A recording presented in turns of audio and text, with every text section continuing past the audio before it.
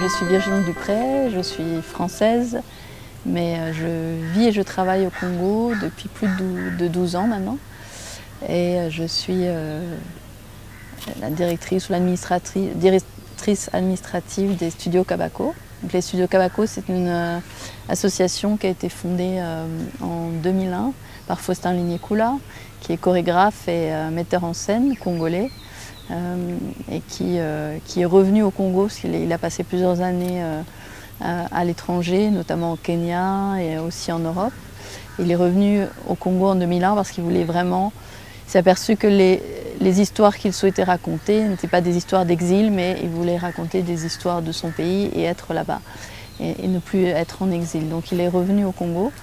Et euh, il a fondé les studios Kabako, qui est au départ studio, donc le fait qu'on ait appelé ça studio et non pas une compagnie, c'était vraiment parce qu'il a pensé ça comme un espace. Euh, au départ, c'était un espace mental, parce qu'il n'y avait pas de lieu à nous, et un espace de réflexion euh, autour, un espace de réflexion, de partage, de recherche, de doute, d'artistes, euh, venant au départ du spectacle vivant, donc du théâtre et de la danse. Donc il a formé à l'époque, donc en 2001 à Kinshasa, il n'y avait pas de... La danse contemporaine n'existait pas, donc il a commencé par, euh, former un certain nombre de, danseurs, puis à travailler avec eux. Et très vite aussi, il s'agissait pas seulement de son travail, mais de pouvoir accompagner euh, d'autres démarches personnelles. Donc très vite, il y avait l'idée du partage et de pouvoir coproduire, accompagner d'autres projets. Euh, en 2006, les studios Kabako se sont déplacés vers Kisangani. Kisangani, c'est la troisième ville du pays, euh, au nord-est euh, nord de la République démocratique du Congo. Là encore, c'était à la fois un choix personnel, mais aussi un choix de décentraliser dans un pays qui est extrêmement centralisé. Donc c'est comment toujours aller, euh, aller à la marge, aller, euh, aller autour du cadre. Et cette idée de marge et de cadre aussi, et de qu'est-ce qui se passe à la périphérie aussi extrêmement euh, présent dans, le, dans, le, travail de Faustin. Alors le Prince Klaus, en fait, on a fait une première demande. Je pense que c'était en 2005, où ils nous ont accompagnés pour faire une tournée dans le Katanga, il s'agissait de financer une tournée en... Euh, voilà, la République démocratique du Congo, c'est un très grand pays. Donc les, coûts, de, les coûts de transport sont, euh, sont, très importants. Donc c'était de pouvoir financer une tournée, euh, une tournée du projet d'une des pièces de Faustin à Lubumbashi et dans trois villes du Katanga. Ça a été notre première rencontre. On avait rencontré à l'époque Else, qui était directrice du Prince Klaus. et ça a été la première demande. On a eu aussi une aide une aide pour, euh, pour montrer un travail euh, à Berlin. Et puis ensuite, en 2007, Faustin a, été, euh, gagné le Grand Prix donc en, décembre 2007. Et nous sommes, donc c'est la troisième année de Network Partner avec, avec le Prince Klaus.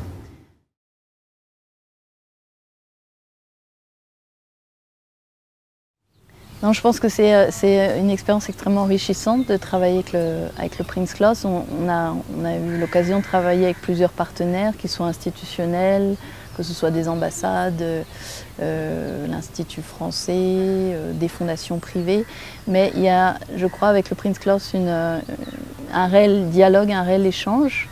qui, qui, était là dès le début, même, même avant d'être Network Partner. Il y a, je pense qu'il y a vraiment, même sur les projets de, de subvention, enfin sur, les demandes de subvention de projet, il y a vraiment une grande liberté, une grande écoute. C'est-à-dire qu'ils sont euh, autant là pour, euh, pour aider, accompagner que pour écouter et apprendre euh, des, différents, des différents, de leurs différents partenaires. Et donc dans ce cadre-là, le, mot de partenariat prend vraiment toute son, tout son sens, euh, ce qui n'est pas toujours le cas voilà, avec euh, des partenaires ou des institutions qui, vous soutiennent financièrement. Donc ça c'est je crois très précieux. Euh, c'était pour moi et pour nous très enrichissant aussi de, rencontrer des personnes travaillant dans des contextes différents mais partageant en même temps les mêmes questions. mais dans, à la fois dans des pays et des contextes historiques, géographiques, différents. socio-économiques aussi différents, euh, mais euh, et aussi dans des disciplines différentes. Donc pour moi, ce, mélange de, pays, c'est-à-dire qu'on n'est pas juste sur l'Afrique ou on n'est pas juste sur l'Asie ou sur euh, l'Amérique du Sud, mais on a on, a, voilà, on est amené à rencontrer des gens travaillant et développant des projets en Asie, en Amérique du Sud, en Europe ou, ou en Afrique. Ça, c'est très enrichissant pour moi. Euh, parce qu'on a souvent l'impression qu'on met voilà, tous les projets africains dans une boîte, euh, une grosse étiquette Afrique dessus. Euh, et du coup, ça permet aussi à chaque pays et chaque spécificité vraiment de, pouvoir s'affirmer en tant que tel et non pas comme représentant d'un continent qui serait l'Afrique ou qui serait l'Asie par exemple. Donc ça, je trouve ça très intéressant. Je trouve ça aussi très intéressant de croiser des disciplines, c'est-à-dire d'être pas simplement dans le spectacle vivant, mais de pouvoir discuter, échanger avec des personnes qui, euh, travaillent dans le domaine des arts visuels, de, l'architecture, de la littérature ou, euh, de la musique. Euh, ça, je crois que c'est aussi quelque chose de très enrichissant et qui nourrit un dialogue, je pense, vraiment intéressant, avec aussi une qualité, je crois, des, intervenants et des personnes qui sont là. Donc on apprend beaucoup, on échange, on crée aussi ses propres réseaux. Euh, et puis pour moi personnellement, c'est vraiment une respiration. C'est-à-dire qu'on est souvent euh, du côté de la production et de l'administration, on est vraiment souvent dans le fait de trouver des solutions à court terme, immédiates, à des choses qui arrivent, de gérer le, quotidien qui est assez lourd. Euh, surtout qu'on est souvent des petites équipes, donc avec, avec voilà, peu de.